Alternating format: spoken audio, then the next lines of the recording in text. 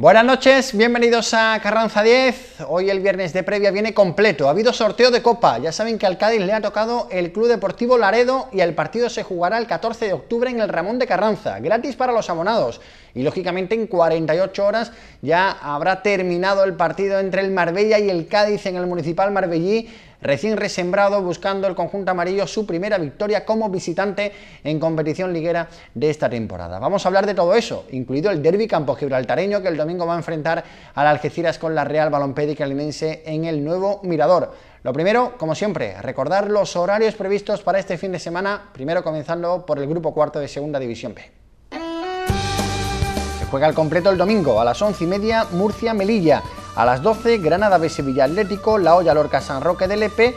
A las 5 y media de la tarde, Betis de Ucán de Murcia, Recreativo de Huelva Mérida, Real Jaén Jumilla. A las 6 de la tarde, Cartagena Almería B, Villanovense Linares y Marbella Cádiz.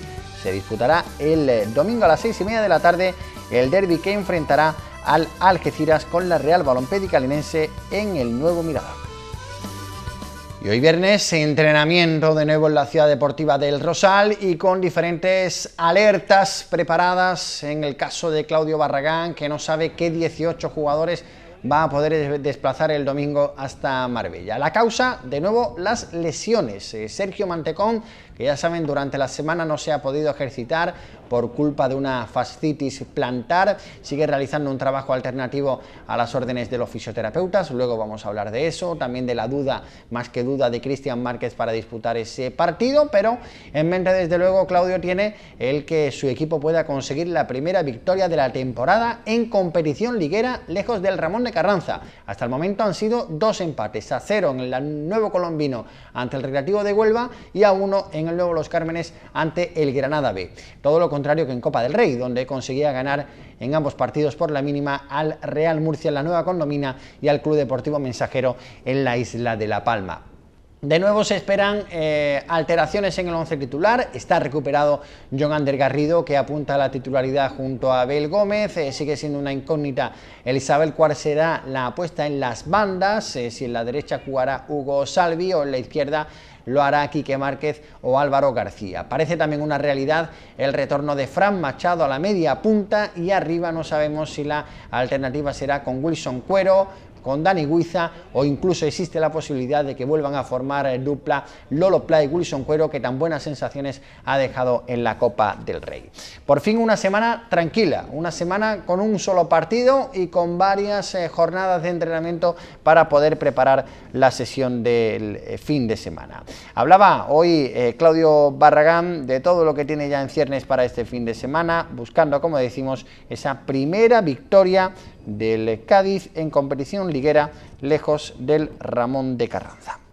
Sí, bueno, una semana un poquito más, más normal, con dos días de, de descanso. Creo que el equipo lo necesitaba, de un poquito desconectar y venir otra vez con las pilas cargadas, sabiendo que el domingo pues tenemos un partido muy, muy complicado. Sí, nos gustaría el, traernos los tres puntos de ahí de, Marbella, pero, pero no va a ser nada fácil, ¿eh? no, va a ser nada fácil porque bueno, pues enfrente tenemos, vamos a tener un rival muy, muy competitivo, un rival que si ya de por sí sale cada partido eh, con una motivación extra, pues si va al Cádiz, pues más, más de lo mismo, ¿no? Entonces, pues conociendo al míster, es pues, un equipo que contundente, un equipo agresivo, eh, un equipo que no está carente de, que no carece de, calidad y luego pues a eso lo añadimos que es de los equipos más más altos de la categoría, pues en el juego aéreo también es uno de sus puntos fuertes. ¿eh? O sea que no va a ser nada, nada sencillo. ¿eh? Hay que salir mentalizados de que tenemos que, tenemos que competir mejor que ellos si, si queremos ganar el partido. Tenemos que salir ganadores en, en, todos los duelos, bien por arriba, por abajo, eh, mentalizarnos de que, de que no nos van a regalar nada, de que todo lo que hagamos tiene que ser por méritos propios y, bueno, pues esa es la mentalidad que tenemos que tener. No lo sé, no sé, no, no sé, no sé. Lo único que sé es que no han, perdido, que, que, bueno, pues que es un equipo muy rocoso, que, que no te deja, no te deja respirar y vamos a tener que, trabajar de lo lindo para, para traernos algo, de ahí de, Marbella. No, o sea, me, han mandado fotos, verde está, pero otra cosa es de lo que se ve de fuera y luego las sensaciones al pisarlo, ¿no? Hasta cinco autobuses se van a desplazar desde Cádiz hasta Marbella, dos de la Federación de Peñas y otros tres de diferentes eh, sectores eh, de la afición cadista y los muchos que se esperan también que se puedan desplazar en coches particulares hasta el municipal de Marbella. Ese será el escenario porque los dos últimos partidos en casa que ha jugado el conjunto costasoleño ha sido en el exilio, han sido en Benalmádena, ha sido resembrado el terreno de juego del municipal, como suele pasar casi todos los años a estas alturas de la competición, después de que haya sido más que usado por equipos eh, alemanes, equipos eh, eh, europeos en general que durante las últimas semanas han estado realizando sus diferentes pretemporadas en la Costa del Sol. Hay que destacar que el Marbella es uno de los siete equipos invictos que quedan en la competición liguera, aunque eso sí, en los tres últimos eh, resultados del cuadro marbellí han sido empates.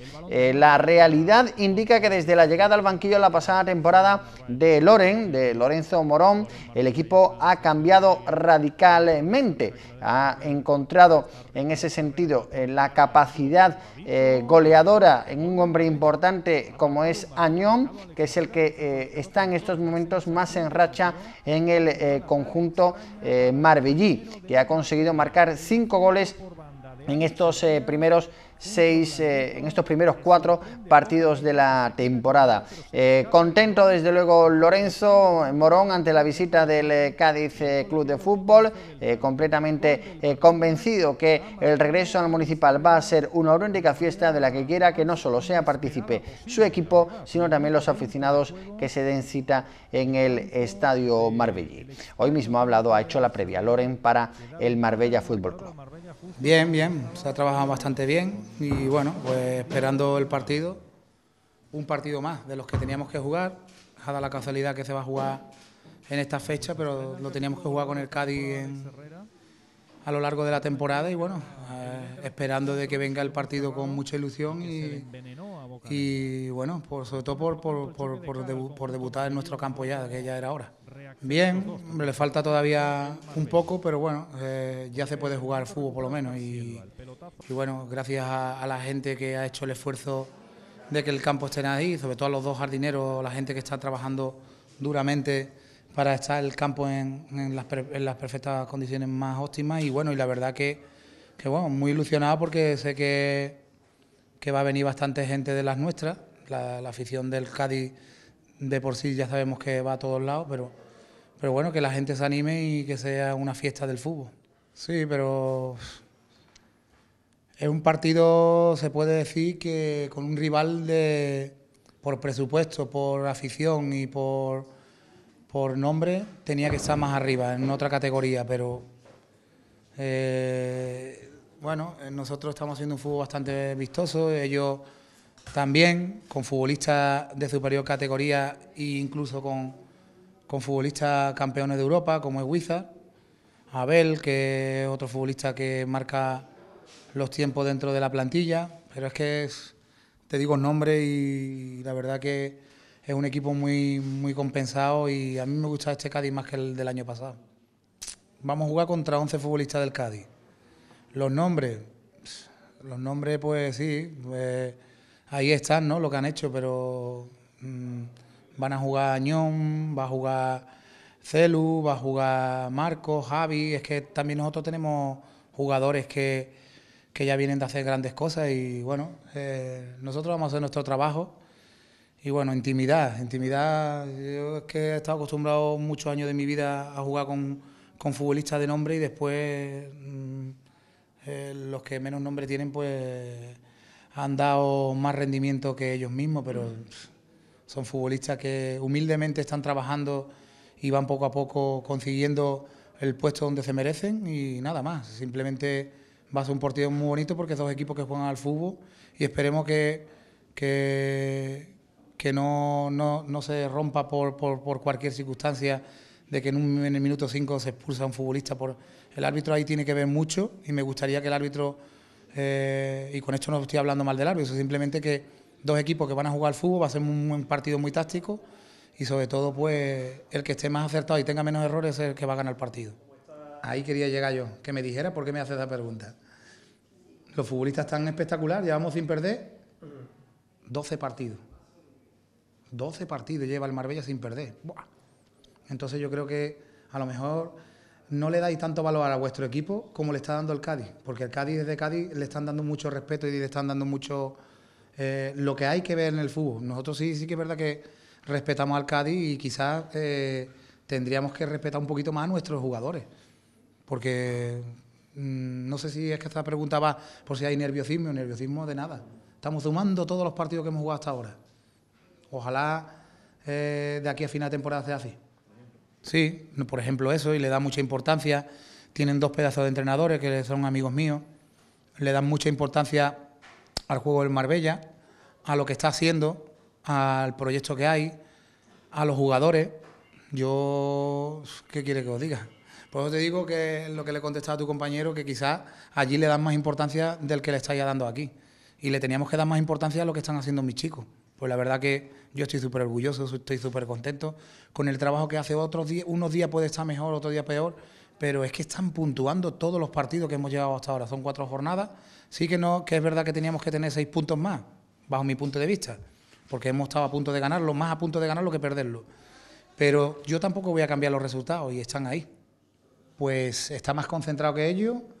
Lo que te he dicho antes a tu compañero, el, equipo que menos falle es el que va a ganar el partido, porque hay dos grandes plantillas con muchísima calidad, va a haber mucha calidad dentro de, del campo, con muy buenos futbolistas técnicamente, no, no se va a ver un fútbol directo ni fútbol patadón arriba, se va a ver que dos equipos que quieren jugar al fútbol. Yo el otro día disfruté del partido del Linares, porque en todo momento los dos equipos quisieron jugar al fútbol. Y bueno, como al principio de temporada se ha dicho, yo no lo he dicho, lo habéis dicho vosotros, lo han dicho todo el mundo, es el, grupo más fuerte de la categoría. Pero es el grupo más fuerte porque eh, jugadores de superior categoría vienen a jugar la, esta competición, por algo será, ¿no? Entonces le está dando más valor. Y bueno, yo cuando veo eh, a una olla de Lorca que está ahí arriba, y no es por suerte, eso es mentira, el Mérida está ahí arriba, no es por suerte, es porque están haciendo las cosas muy bien. Están jugando al fútbol y bueno, pues este domingo nos toca a nosotros de jugar ante un gran equipo, pero es que hay otro equipo que quiere ganar, que es el Marbella Fútbol Club. Nada más. Hombre, claro, claro que afecta, claro que afecta, al jugador le afecta. Pero yo te digo una cosa, que todo run, run, run, eso fueran con, como van ellos, que van con, con mil o dos mil personas a todos lados. El futbolista después, una vez que se pone la camiseta, se olvida de todo el run run y que si no ha cobrado, que si hay problemas dentro del vestuario, del club. Yo no sé qué problema hablar, ni quiero saberlo. Problemas son ellos los que tienen que solucionarlo. Yo demasiados problemas tengo para pa, alinear a 11 y, otros 5 al banquillo. Eh, pero sí que es verdad que, bueno, que, creo que, que, puede afectar un poco. Pero yo con, conociendo como conozco un poco este mundo, yo cuando había problemas que he tenido una vez nada más, que fue aquí en Marbella, sin cobrar seis meses, nosotros, el equipo lo que hicimos es hacernos, hacer una piña. Y ahí no entraba ni Dios. No nos podían, no podían meter nadie ahí a meter baza porque sabíamos que todos íbamos a una. Y la verdad que, que fuimos hasta el final. Y, y bueno, por desgracia, pues no pudimos meternos en una liguilla para jugar la primera edición. Pero yo creo que por experiencia, por, veteranía, por todo lo que tienen ahí dentro de lo que es la plantilla, yo creo que se ha aislado. Y sobre todo yo conozco al entrenador, fue compañero mío en el Salamanca, y Claudio y tanto Alfredo son muy listos. Y de por sí, como tú me has dicho, vienen concentrados un día antes para quitar a los futbolistas de, todo aquello. Es lógico, es lógico. En Cádiz, como decíamos anteriormente, todo está pendiente de la evolución de los hombres que andan tocados. Son varias las dudas que tiene Claudio Barragán. Ya decimos que está casi descartado Sergio Mantecón, que no ha entrenado durante la semana con el grupo por culpa de una fascitis plantar que eh, incluso le impidió estar el pasado fin de semana disponible. Sí va a estar disponible John Ander Garrido, que ha entrenado con normalidad durante los últimos días después de eh, superar una lumbalgia. Y ojo a la más que duda de Cristian Márquez con problemas en los aductores. Podría perderse el partido de este fin de semana. Y las miradas apuntan a Juanjo, que ha vuelto a entrenar con el equipo y después eh, de volver a recaer de su lesión, tendría quizás que apurar un poco para estar en el once titular, aunque ya sabemos que para Claudio Barragán existe siempre riesgo cero. Hoy Claudio hablaba de ese eh, estado por las dudas que hay en el equipo. Hasta mañana no elegirá a los 18 futbolistas que irán convocados el domingo por la mañana rumbo a Marbella. Hay dudas, hay dudas. Dudas, pero porque están tocados, vamos. Y es un, ahora mismo un quebradero de cabeza el que tengo el que tenemos, tanto Alfredo como yo, porque desde ayer ya le estamos dando vueltas y vamos a ver si buscamos una buena solución. Porque encima no está Mantecón, que sé que te puede dar un poquito, en caso de que tengamos problemas en, el lateral derecho, pues en un momento determinado ocupar esa posición. ¿eh? Como ya pasó un poquito en Granada, o que no es nuestra idea, pero bueno, desafortunadamente también Mante pues anda con, con molestias en la planta del pie y los dos laterales están tocados, o sea que es el, problema que tenemos ahora mismo. Vamos a ver mañana, pero bueno, es una ya es, es algo que, que, pertenece más al, futbolista, creo yo, que, que otra cosa, ¿no? Él está con molestias, pero bueno, no sé, es una cosa que... También es verdad que ya nos conocéis y no vamos a forzar en absoluto. Si él no está en condiciones, no va a participar. O sea, yo no, no, no, me gusta eh, obligar a nadie. Es verdad que ahora es una necesidad la, necesidad la que tenemos ahí, porque es verdad, pero bueno, intentaremos buscar otra, otra solución, no pasa nada. Por, los laterales, sí, tanto de un lado como de otro. Andamos, eh, porque Tomás lo está jugando todo y bueno, pues un poquito y bueno, lateral derecho para, para qué hablar. Poco a poco va entrando, sí poquito a poco. El autor también. Sea de, de, entrenar tanto los, controles orientados, el giro ese. claro, es que si el futbolista no tiene confianza, es el futbolista tiene que estar convencido, si no es tontería. Porque se perjudica a él y perjudica al equipo. Eso es lo que quería, a lo que me quería referir. Habrá que estar a la expectativa de mañana en la lista de convocados. Al menos hoy Claudio Barragán ha tenido una buena noticia. En el sorteo de Copa del Rey, el Cádiz no tiene que viajar y va a recibir en teoría al equipo más débil de los que se podía enfrentar, al único tercera división que continúa adelante en el torneo del CAO. Estos son los emparejamientos. Reus Lleida, habrá derby catalán, Unión Deportiva Logroñés Ucán de Murcia, Villanovense Racing de Ferrol, Baracaldo Huracán de Valencia, Cádiz Laredo y Balompédica Almense Ebro.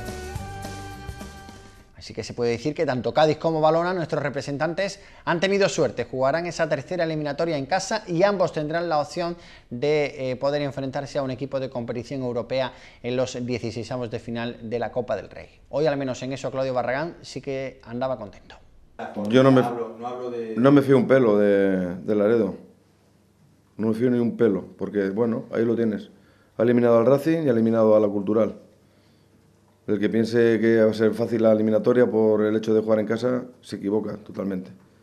Pero bueno, ya, ya habrá tiempo para, para hablar de ese partido. Bueno, pues es, a ver, es una eliminatoria cómoda para nosotros, no tenemos que desplazarnos, jugamos en casa ante nuestra afición, que creo que, que también se merece un, un partido de, de Copa. ¿eh? Por lo tanto, bueno, pues cuando llegue un momento intentaremos afrontarlo con con la mayor humildad y con el mayor respeto y con la intensidad de siempre. O sea, es que no hay otra. No hay otra. Y que no piense la gente que va a ser sencillo. Ya cuando llegue el momento.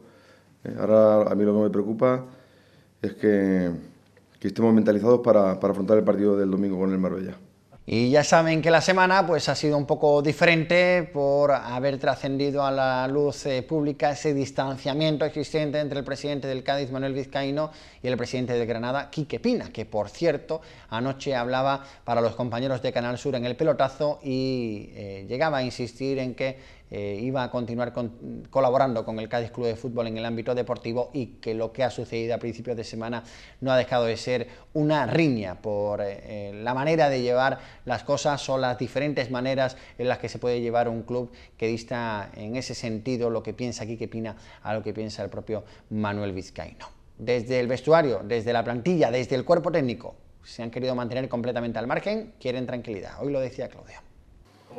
Bueno, no, la plantilla lo ha llevado, lo ha llevado bien. Nosotros en parte, bueno, pues eh, tenemos que estar un poquito al margen, preocuparnos de, lo meramente deportivo.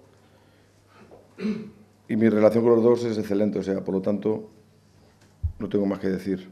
Eh, y los jugadores igual. Sí, pero bueno, es, eso algo que se, que se veía venir, ¿no? No mayor trascendencia. Lo importante es, es el Cádiz y que rememos todos en, la misma dirección. Eso es lo, lo, fundamental para que la cosa funcione. Bueno, él ya dijo por qué era, ¿no? Entonces, yo con Jorge me llevo de maravilla. ¿eh? Igual que todos los futbolistas, es que no, no tenemos ningún problema en ese sentido. O sea, yo estoy agradecido y, y feliz de, de sentirme pues, eh, pues amigo de, ellos, ¿no? La verdad. O sea que, al margen de lo profesional, yo creo que hay una muy buena relación, tanto con él como con el Presi, como con, con Quique, o sea que no hay ningún problema. Bien, bien, pues anda un poquillo perdido, pero bueno, es un hombre de fútbol y por lo tanto no creo yo que tenga muchos problemas para, para adaptarse. Se ve que es un tío vivo, o sea que no es, no es ningún tonto. No, no es una cosa que... No, en absoluto. ¿Por qué tenía que molestarme? No, no. Ya, pero no, no. No, lo que me llamó un poco la atención fue eh, todo este este follón que se, se ha montado, ¿no?